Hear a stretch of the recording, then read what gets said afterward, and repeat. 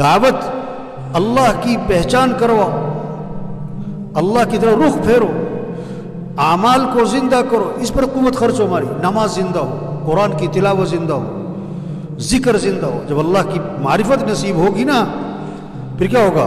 پھر فضا بنے گی نماز کی، قرآن کی، ذکر کی، دعاؤں کی، اللہ سے مانگنے کی۔ مسئلے حل کرنے والا کون ہے؟ ضرورتیں پوری کرنے والا تو کس سے مانگو؟ نماز پڑھ کے کس سے مانگو؟ آزان کے بعد دعا قبول ہوتی ہے، تو آزان کے بعد کیا کرو؟ مانگو۔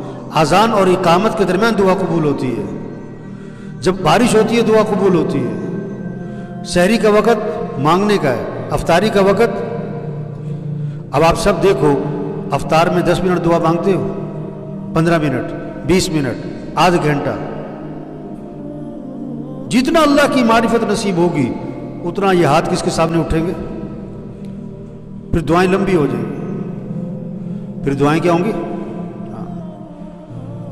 مسئلوں کا حل دعا ہے کہ سب اللہ سے مانگے سب فقیر ہیں اور غنی کون ہے سب مخلوق ہیں خالق کون ہے سب محکوم ہیں حاکم کون ہے سب ضعیف ہیں قوی کون ہے سب عاجز ہیں قادر کون ہے ہاں، تو کس کو، کس سے مانگو؟